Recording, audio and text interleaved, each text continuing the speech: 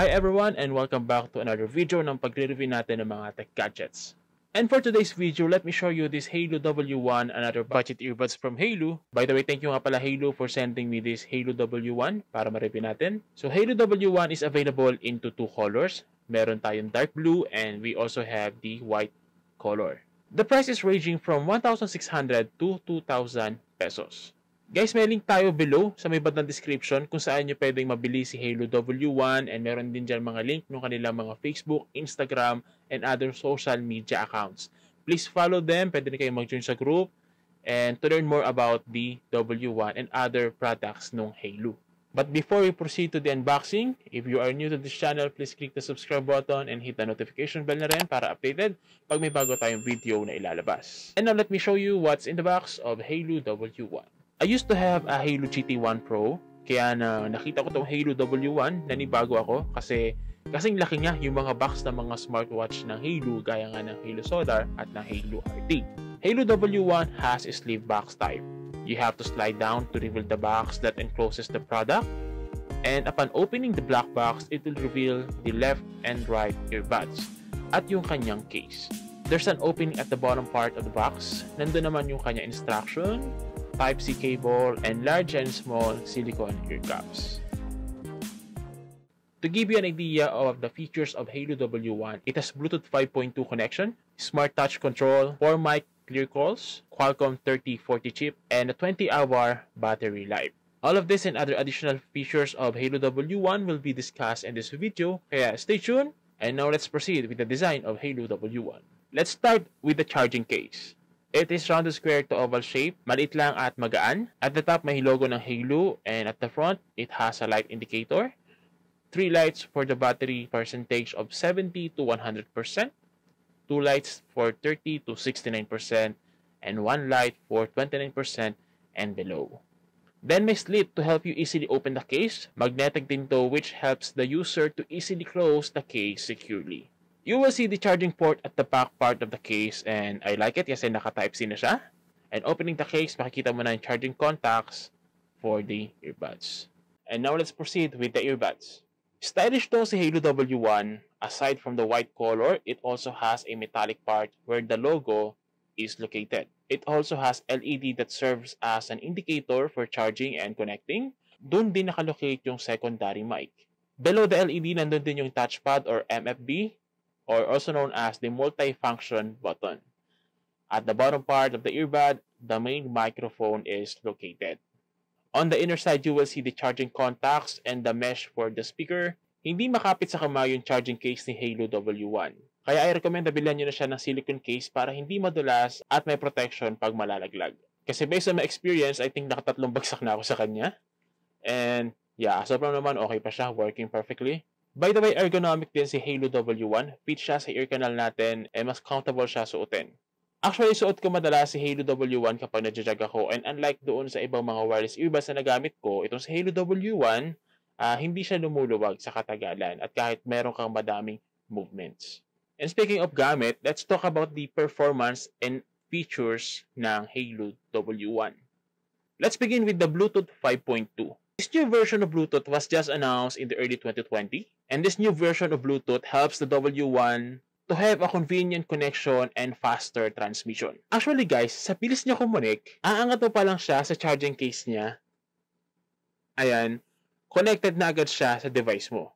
But syempre, on first use, kailangan mo muna silang ipag-pair. Pero on the following na paggamit mo sa kanya, matik na siyang co-connect doon sa last device na kinonikan niya. It also has Knowles driver, so hindi ito si Beyonce Knowles. And to give you an idea what driver is, the driver converts the electric signal into sound. Kaya yung naririnig natin sa ating mga speaker at saka sa ating mga earphones or earbuds, that is produced by the driver. And Knowles is one of the leading corporation when it comes to producing microphones and speakers.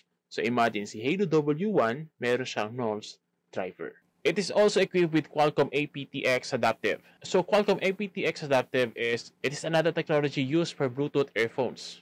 Let me say that this is the one responsible for dynamic no latency and HD quality audio. And when you say adaptive, from the name itself, it automatically adjusts kung ano yung activity mo. Kung nanonood ka ba, nakikinig, or naglalaro. So si Qualcomm aptX Adaptive, yung mag-change na automatically para ma-provide na yung mas magandang audio output sa ating earbuds. It also has ingress protection or IP X4. So meron siyang protection pagdating sa liquid. So it is a water resistant. So aside from being a water resistant, it also has anti-oxidation vacuum technology. But then again, it is water resistant but not waterproof. Therefore, it only has protection with this splash or pawis, but not on heavy rains and showers and other na masyadong mabasa. By the way, I am pertaining to the earbuds. Siya yung merong ingress protection. Pero yung charging case, wala. So, ingatan niyo siya. okay, question. Pwede ba ako mag-swimming ng suot-suot si Halo W1? No. no, dahil hanggang 4 lang yung IP rating niya in terms of liquid And yeah, hanggang shower or pawis lang yung pwede sa kanya. Hindi pwede mga masyadong heavy duty na pag-ulan or pagbasa. As I mentioned, meron ding touch control si Halo W1. Pag nasa charging case si Halo W1, tapos inopen mo yung lid ng ganyan, automatically magpa-power on na siya.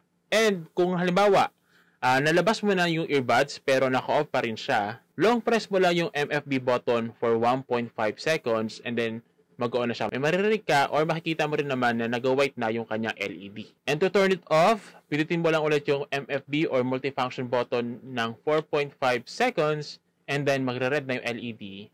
And yeah, meron ka rin naman maririnig.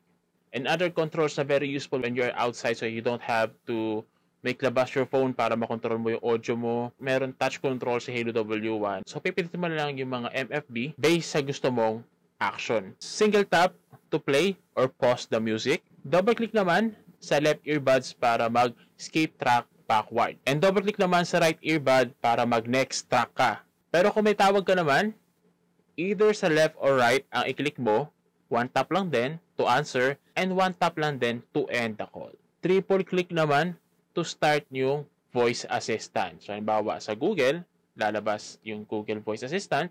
But in my experience, merong konting delay. I think it is like uh, half of a second from the moment you tap and then yung response ni Halo W1.